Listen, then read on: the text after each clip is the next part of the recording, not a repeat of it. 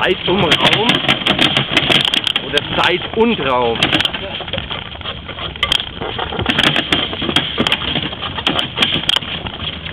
Das etwas andere Fitnesstraining.